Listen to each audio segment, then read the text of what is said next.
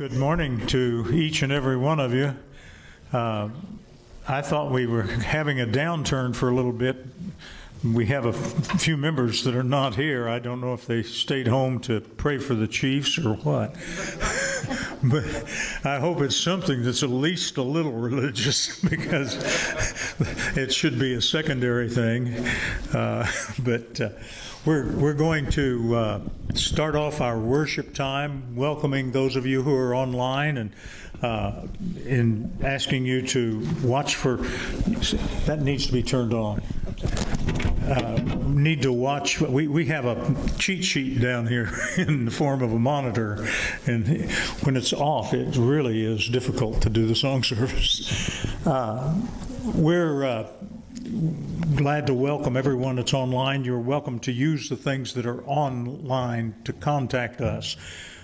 Use your phone in church to text us with what you have as a question or a need or anything like that, and we'll be glad to get back with you and, and visit with you, set a time to visit, however it, it comes out working. We'll just be really glad to do that. Uh, we want to welcome our guests this morning. We have them in profusion, and it's great. We, are glad to have you here. There will be a call for a children's worship time. They want it all stay in. They want it all stay in. Trust me. I'm the one that's preaching. They're not going to be real interested. uh, but that, that's fine. That's just, just real fine.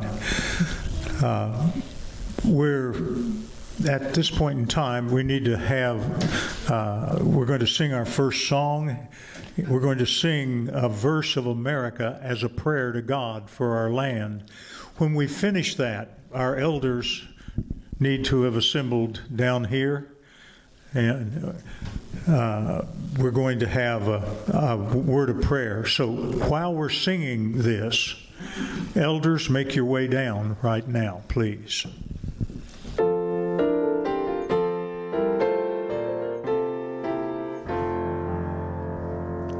Our fathers, God, to thee, author of liberty, to thee we sing. Long may our land be bright with freedom's holy light. Protect us by thy might, great God, our King. If you gentlemen would step up, I, I would just comment this. We believe in prayer. We believe that doctors can help in the healing process, but we believe ultimately everything rests in our Heavenly Father's hands. And uh, Doug's having a surgery this week, and uh, he's one of the elders. But uh, in this case, we're just going to have a word of prayer over him, ask God's blessing on him as he goes through this surgery. Harold, would you, would you lead?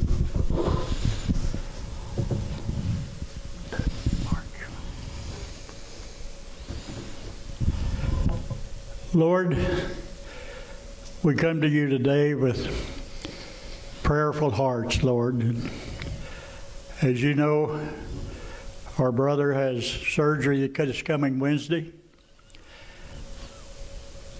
Lord, we pray that you would be with the doctors as they operate on Doug and everything goes well, Lord. We ask that you would heal Doug, lead, let them, let them do a successful surgery. Let everything go well as it should, as it's meant to, as they mean it for it to go, Lord. That, Lord, we just need Doug with us so much.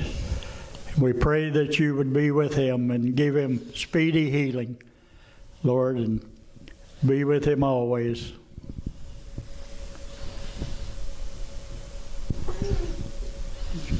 And Lord, we just come to you now and we ask everyone here to pray for Doug.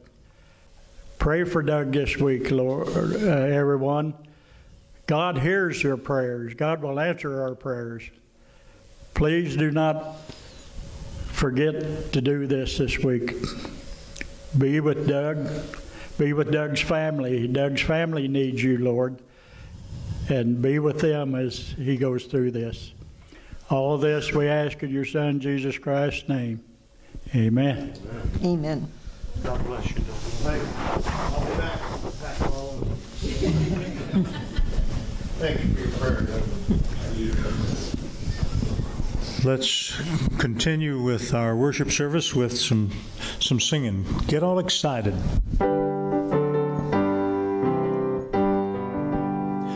Get all excited, go tell everybody that Jesus Christ is King. I said, get all excited, go tell everybody that Jesus Christ is King. I said, get all excited, go tell everybody that Jesus Christ is King. Jesus Christ is still the King of Kings, King of Kings. You talk about people, you talk about things that really aren't important at all. You talk about weather, you talk about problems we have here at home and abroad. But friend, I'm excited about a solution for the world. I'm gonna shout and sing, and it's Jesus Christ is still the King of Kings, King of Kings. Get all excited, go tell everybody that Jesus Christ is King. I said, get all excited, go tell everybody that Jesus Christ is King. I said, get all excited, go tell everybody that Jesus Christ is King. Jesus Christ is still the King of Kings, King of Kings.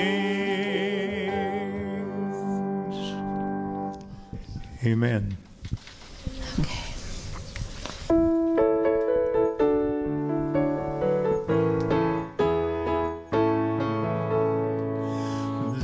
These are the days of Elijah, declaring the word of the Lord. And these are the days of your servant Moses, righteousness being restored. And though these are days of great trial, of famine and darkness and sword, still we are the voice in the desert crying, Prepare ye the way of the Lord. Behold, he comes, riding on the clouds, shining like the sun.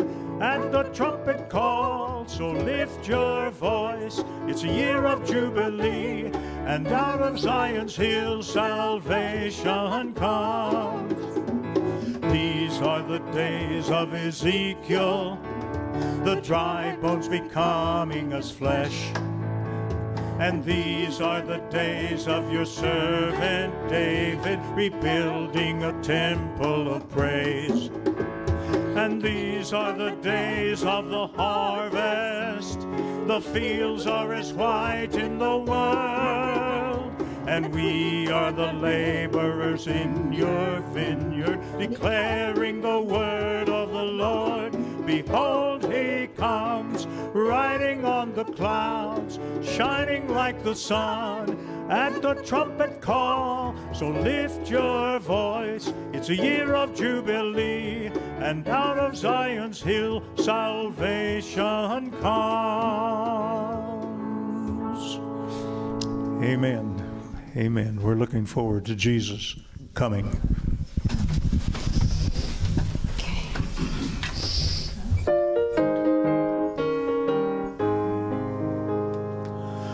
When the trumpet of the Lord shall sound, and time shall be no more, and the morning breaks eternal, bright and fair. When the saved of earth shall gather over on the other shore, and the roll is called up yonder, I'll be there. When the roll is called up yonder, when the roll is called up yonder, when the roll is called up yonder, when the roll is called up yonder, I'll be there. On that bright and cloudless morning when the dead in Christ shall rise and the glory of his resurrection share. Then all of life is over and beyond the skies and the roll is called up yonder, I'll be there. When the roll is called up yonder, when the roll is called up yonder, when the roll is called up yonder, when the roll is called up yonder, I'll be there.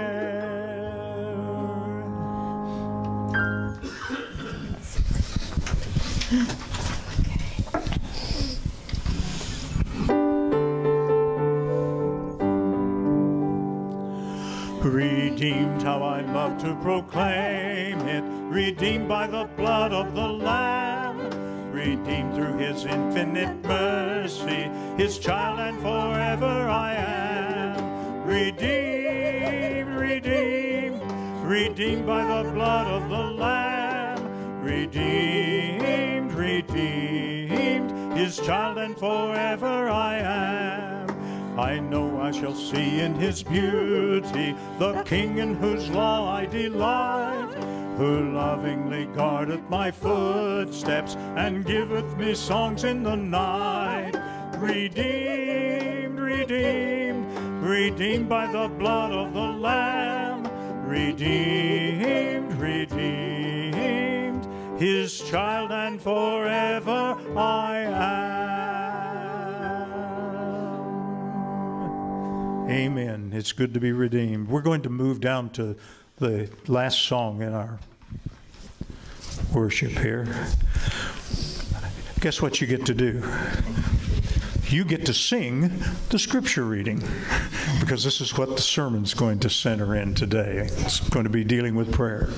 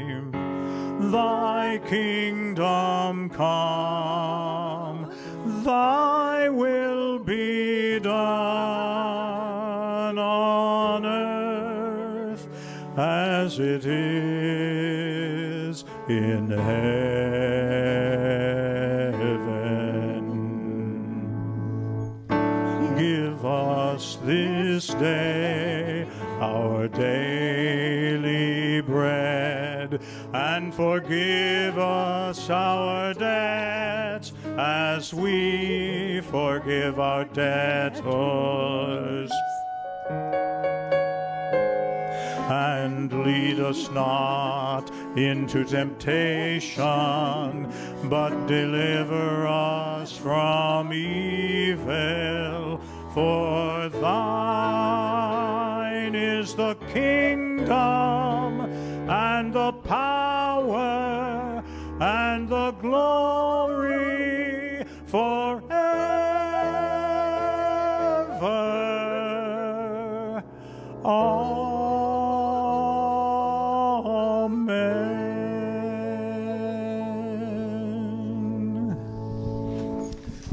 Thank you for assisting in that reading.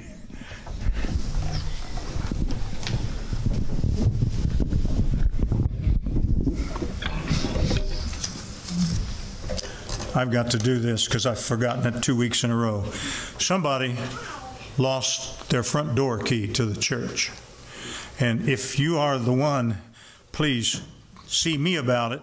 And, but come and take it off the pulpit here and then come and see me about it, okay? Uh, we try to make keys available for anyone that needs them.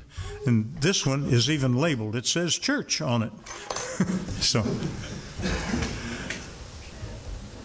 I want us to have just a brief moment of prayer, and then we will uh, proceed with a study of the scripture that we just shared together from Matthew, the sixth chapter.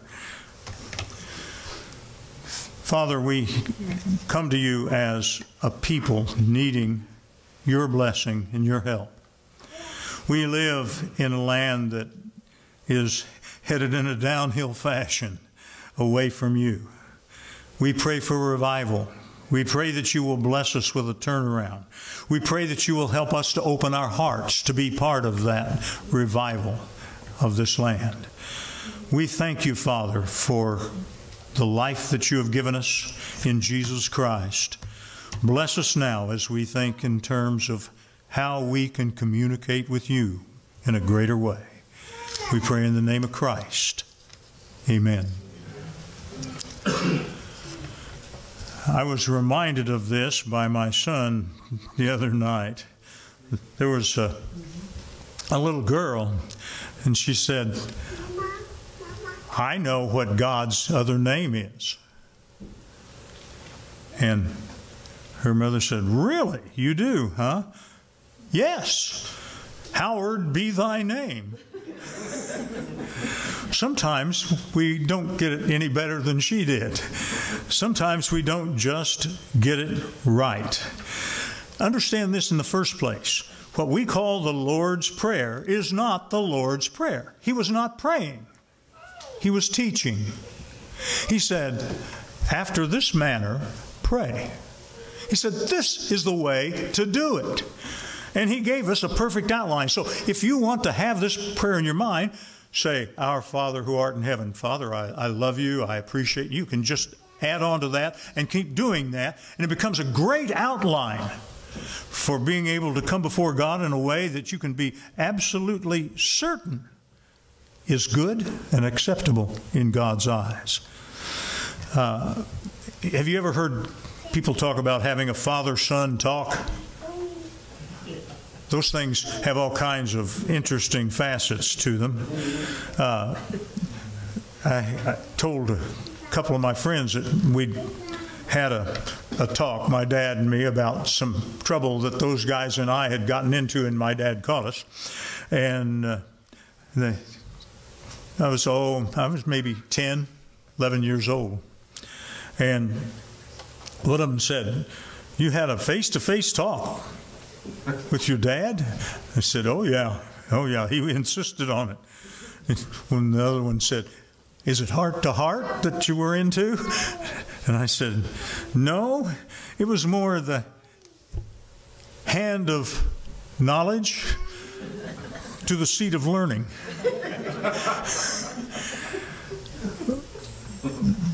we sometimes miss out in the father son talk thing, getting down the things that we should be saying. Use our study today to cover that. We're going to be reading from the various verses in the 9th to the 15th verses of Matthew 6, if you'll kind of have them in readiness, if you want to follow along that way. We need to say this I don't think we know how to pray as well as we should. And I don't think we pray as often and as much as we should. And I think if we did both of those things, there would be a difference around us and in the land. And I include myself in that. I include myself in that. I think we need to be in prayer. So we need to take it to the Lord in prayer. And the first thing that we come up with here, guess what the first point is? You can say it. Our Father who art in heaven.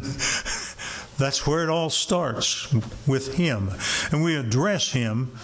He is a spirit, He is visible in heaven, and He is going to be very visible on this earth in the form of Jesus returning, we were singing about earlier. We need to address Him as our Father.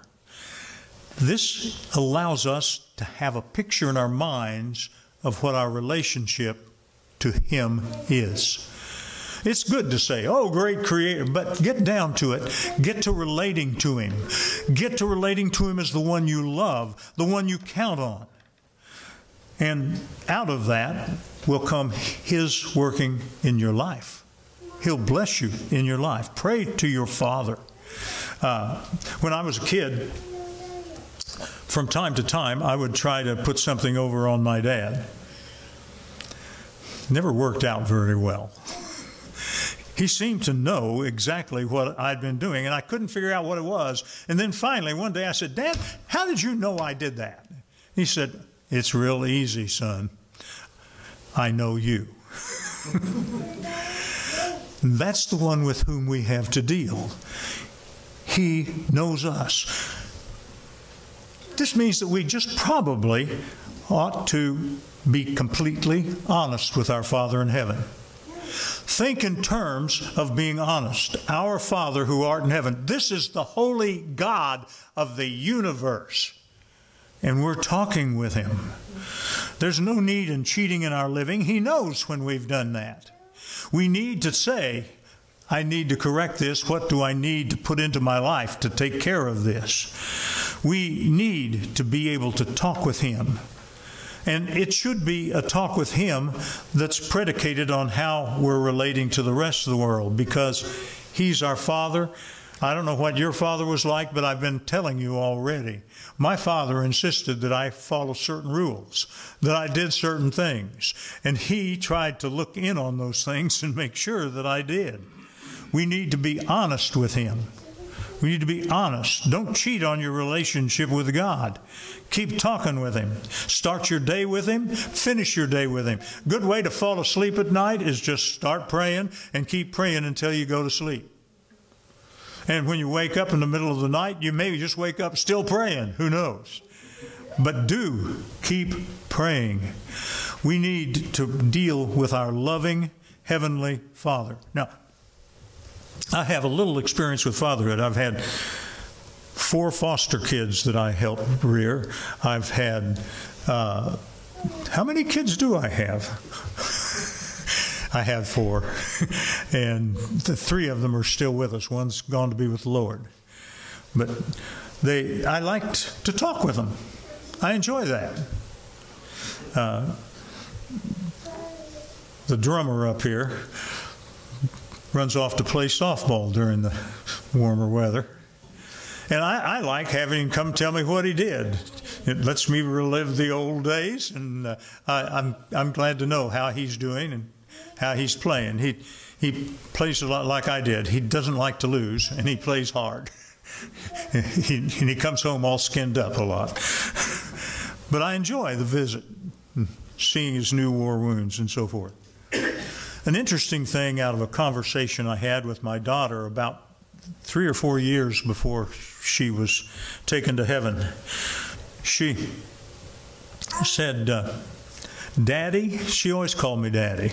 I kind of like that. It's more intimate than just, hey, Pop, or hey, Dad. And that's more like the boys' style. but she, she said, Daddy, I noticed that you were letting and named the child do this. And I never got to do that. And I said, Well, why do you suppose? She said, Well, I don't know. I said, Did you ever ask?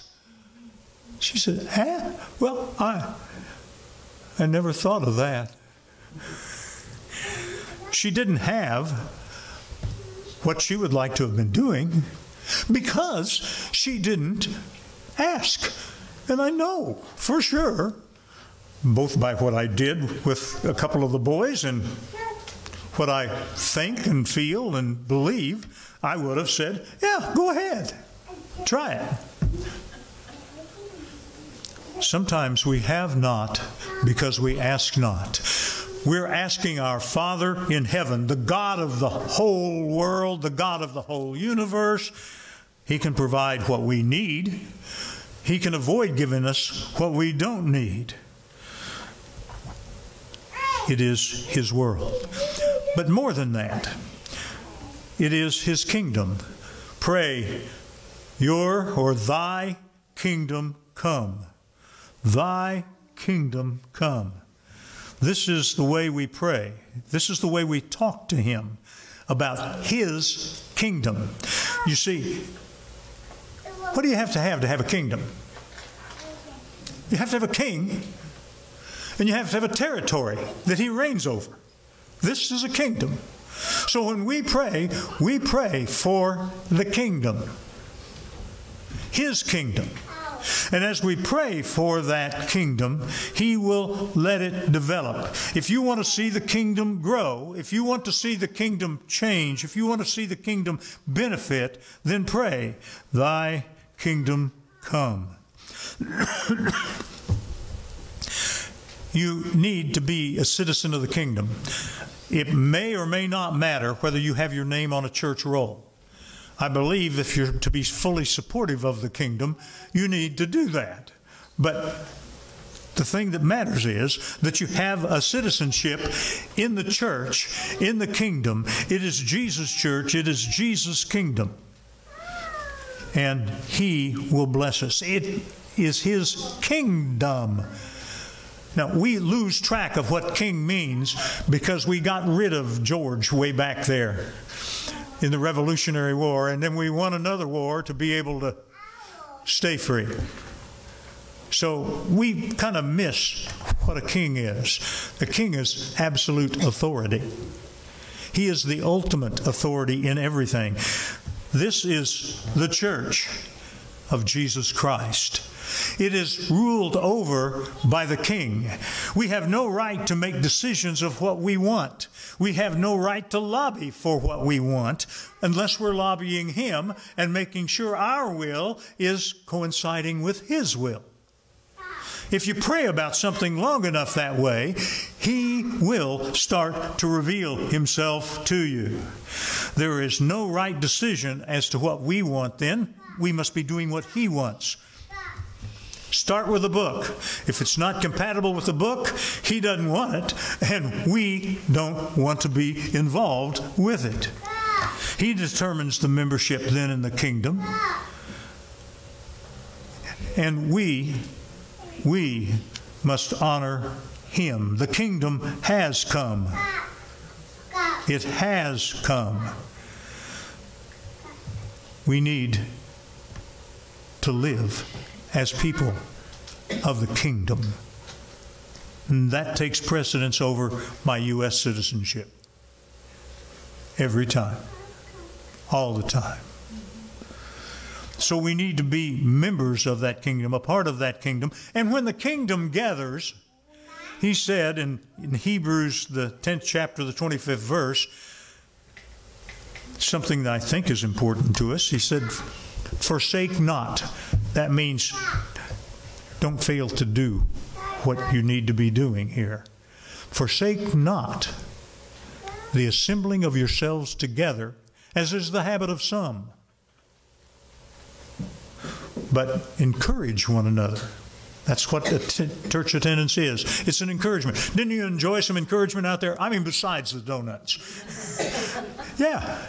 Yeah, it, it's, it's a thing that we have an opportunity to participate in, and we have an opportunity to share in the kingdom of God. I'm concerned not so much whether your name's on a roll book here but I am extremely concerned that your name is on the roll book in heaven and that you're participating in kingdom activities. Now, thy will be done on earth. Now, that has some meaning. God doesn't take control and force us. Remember, there was the Garden of Eden. God gave man the choice, and man blew the choice. Remember the world of Noah's day? He had to wash it all away and start afresh.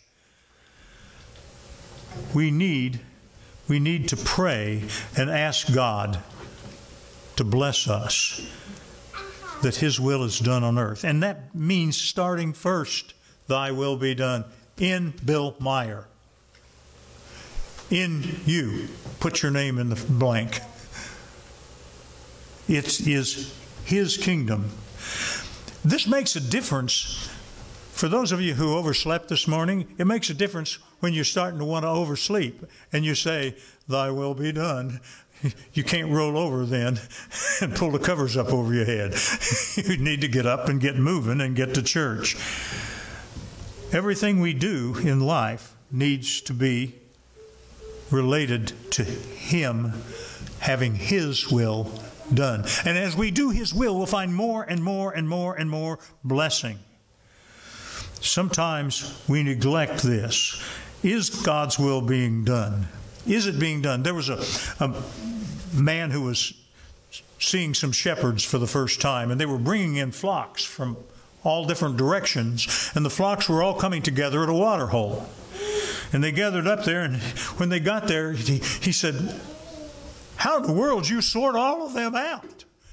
He said, Man, you got woolies everywhere, and they're mixing and mingling and everything. How do you sort them out? And one of the shepherds said, They always follow their shepherd unless they're sick. It's the only reason that they wouldn't. You got a sick sheep if he doesn't follow. They hear the shepherd's voice and they follow. We need to follow Jesus Christ. We need to follow him intently, doing his will. Give us this day our daily bread. And this speaks to us in this day. We care, but we don't worry about tomorrow. When did he say we should ask for the bread? Today. God, give me a good lunch, you know? That's cool. But don't say, God, I'd like a guarantee that I get supper. Or, God, I want to guarantee that I'm going to have something really good to eat tomorrow at 6 p.m. No. No. Give us this day our daily bread. Sometimes we forget that we're supposed to be living on faith. We're supposed to be directed by our faith. And this is saying our daily bread comes from our God. This is the way that things work out. Now, sometimes people listen to sermons and they think that, you know, I've got to do it, I've got to gather it, I've got to make the changes that, that do everything. And to some degree, you have to make some changes if they're out of, out of kilt with what God wants. There was a preacher, I have a Louisiana friend that always told this story. He said, There's this preacher, Brother Bo Bridge, got up and spoke, and one of the members listened. And he said to them in the sermon, He said, Who has the finest house in town? And he was bearing down on the evils of drink. And he said, The bartender. Who drives the finest car in this town? The bartender. Who wears the finest clothes in this town? The bartender. A few days later, the preacher ran into one of his members who listened to that with all his heart. He said, Brother, that sermon was, was wonderful. It changed my life. He said, Oh, have you quit drinking? He said, No, sir. No, sir. I bought myself a bar and I'm the bartender.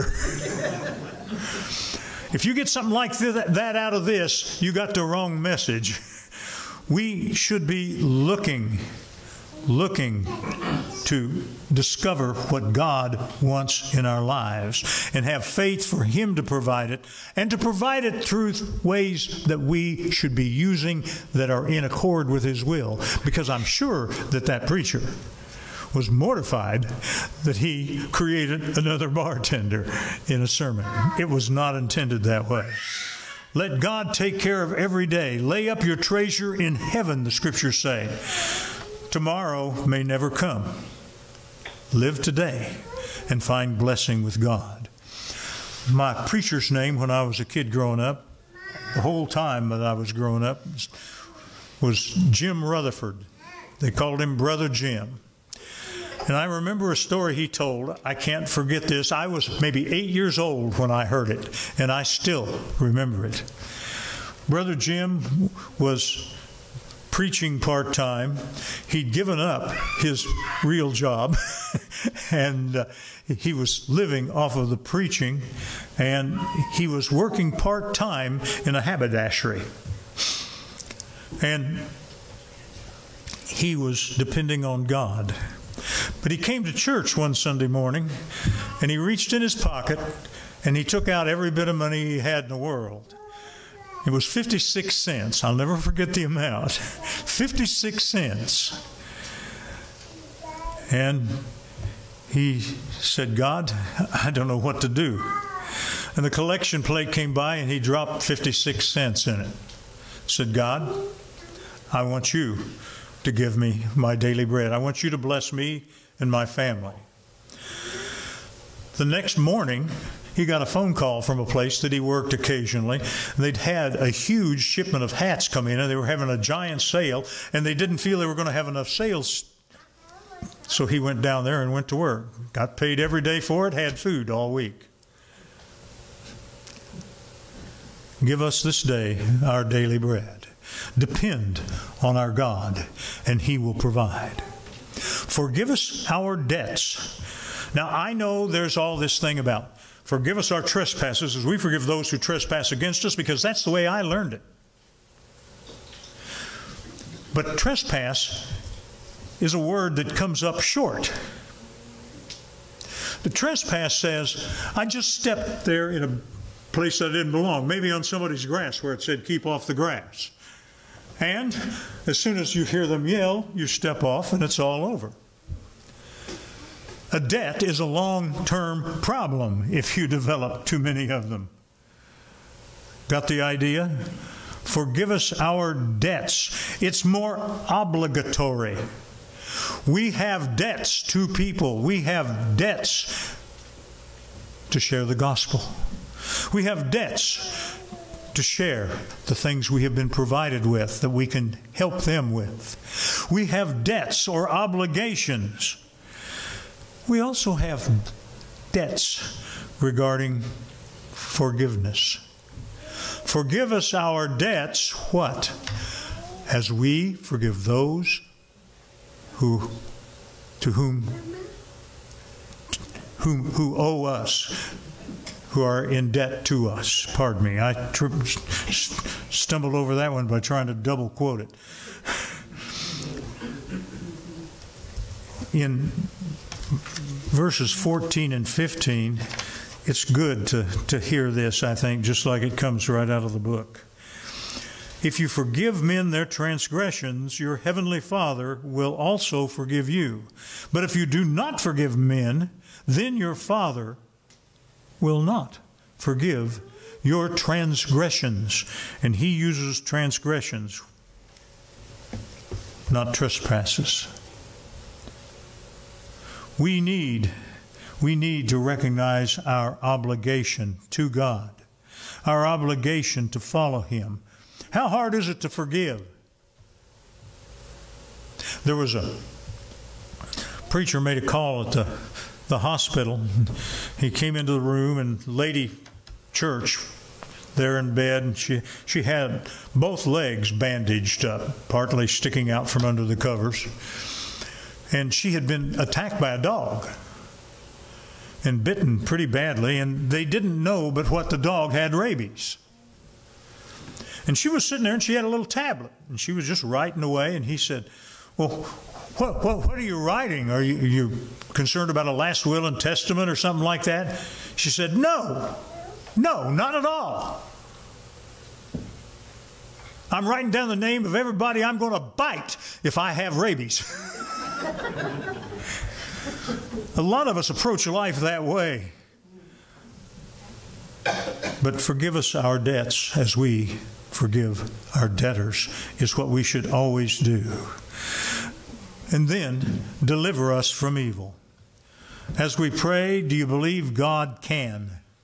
Do you believe He can do the things that need to be done? Have faith that He can. And then act on your faith. Faith without works is what? Yeah. Dead. That's right. It's dead, being alone. We need to live what we say we're going to live. That means that we have to forgive. Oh my, sometimes that's hard, even if we'd like to bite people. It means that we have to forgive and flee evil.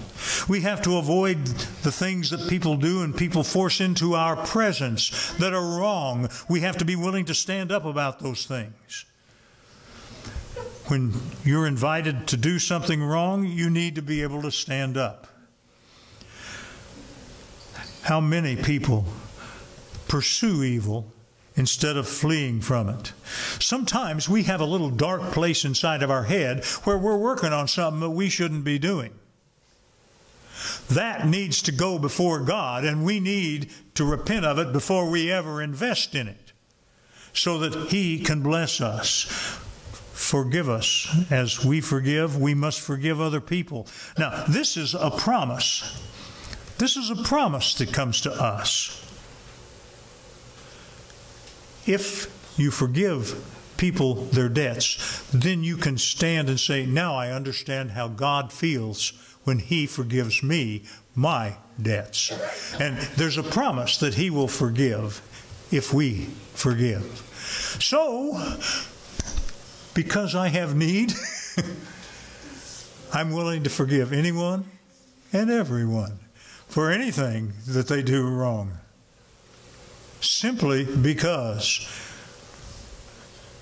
I know what my relationship with Him is to be and what I need from Him. And I need the forgiveness, as every one of us do. What can I do to have a forever outlook? Because this thing concludes this way For thine is the kingdom and the power and the glory forever. Amen. Thine is the kingdom. We've covered that. And the power. He is the all powerful God. He's the one that we can depend upon. And the glory. He deserves the glory. He deserves the praise. And the glory forever. Forever. When I come across that word, how many things follow forever? Nothing. forever goes on, forever. We need forever in our lives. We need to live with it in our minds. We need to recognize that there is a, the days of Elijah. There is a coming again of Jesus Christ. We need to be filled with awe and reverence. You know, I can remember riding down the highway. And as I rode down the highway, I looked and I saw signs. They used to have a lot of them. Sometimes they were up on a board, sometimes they were a little sign that was made and stuck along a fence line. Sometimes they were written on a rock. But they talked about where will you spend eternity? That was the question. And that's still the question. Where will you spend eternity? Where are you going to spend forever? We have we have a need to give ourselves to God and in prayer pray about our forever. Lord, help me live so that I can live with you forever. Help me walk in your grace so I can know you forever. This is what we must do. This is the way we must live. Will you live as if you're living forever? We need to have a forever outlook. And we learn that by praying. Thine is the kingdom and the power and the glory forever. I want to be there when we're celebrating forever, while those who don't know Jesus are unfortunately going to be not celebrating anything except enduring what their sentence has been. Forever. Live for forever. It'll bring your life into perspective. We're going to extend an invitation. It's an opportunity to make a decision for Jesus Christ. If you're here and you want to make that decision, come down and we'll let you share that with the congregation. For those of you at home, use the texting, use the prayer request. Either one of them will get through and you'll get a call back. And we, we believe in the, the texting method as part of our shepherding. So for you out there who may have a need, please, please contact us and we will deal with you and try to be a blessing to you in whatever your need is. Let's let's sing the song I think is appropriate for any time that we're doing an invitation. Lead me to Calvary. Won't you come as we sing? King of my life, I crown thee now, thine shall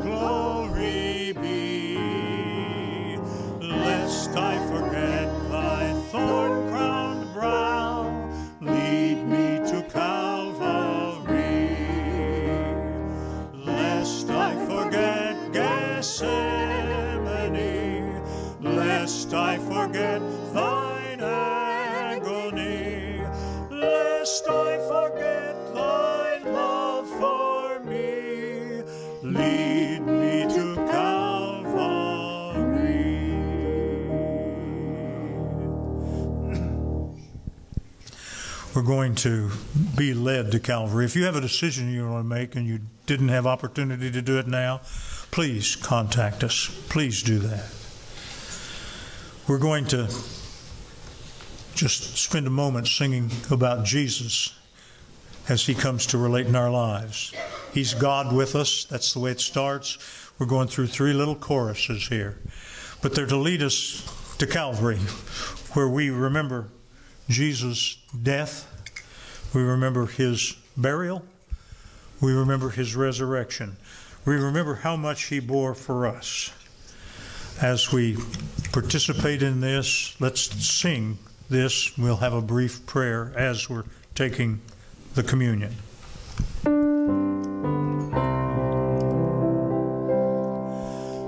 Emmanuel,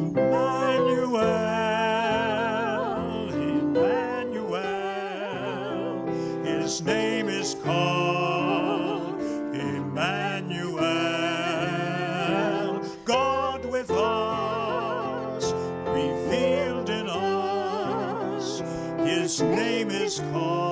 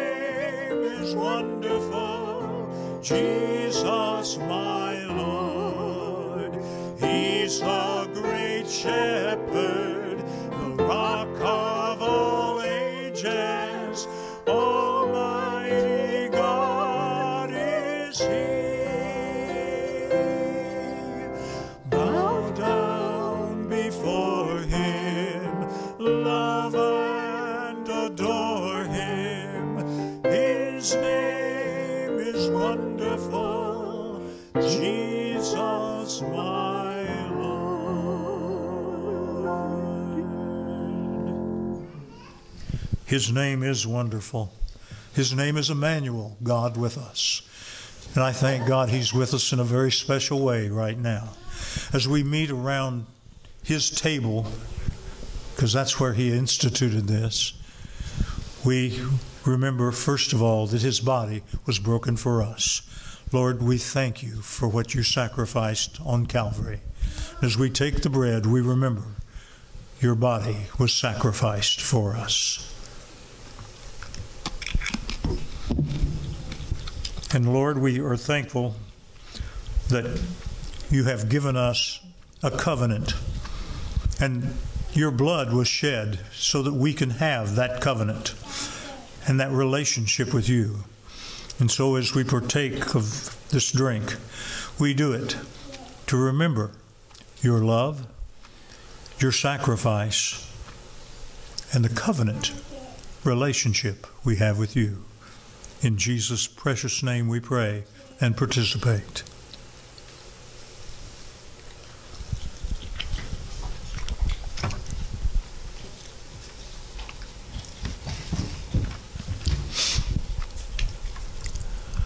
I appreciate y'all being here. I appreciate your attention. By next week, I'm going to be able to see my notes better. I got my glasses back. I sent them in to have them welded together. They're, they were titanium. These are not the glasses. These are the ones that I wore for years. Guess what? They sent them back, and night before last, I was cleaning the lenses, and they broke again. so I'm going to go down and get a different pair of glasses. but it, these were real good until about a year or so ago, and uh, they're almost real good now. We're going to uh, be dismissed, and I pray that you will have uh, a good week standing up for Jesus Christ, for the one who is our Lord, our Savior, and the answer to all the problems that we've got in our lives and in this world and in this nation. So as we go out, let's go out with his name on our lips. We're going to sing about that after our, our closing prayer here. Father, we thank you for Jesus, the ultimate gift that anybody could have been given. We thank you for his love that he would give his life. We thank you, Father, that He gave us the Spirit who walks with us in our daily lives. Help us, Father, to become more and more aware of Jesus' presence through the Spirit. Bless us, Father, so that we may serve you, that people may see Jesus in us. And we pray in the name of Christ, our loving, living Lord. Amen. Amen.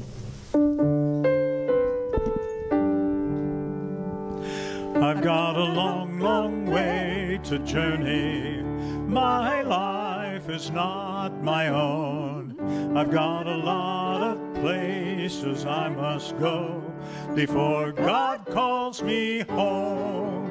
I've got to go tell it on the mountain. I've got to go tell it in the street. I've got to go, go, go tell everybody my Jesus is so sweet.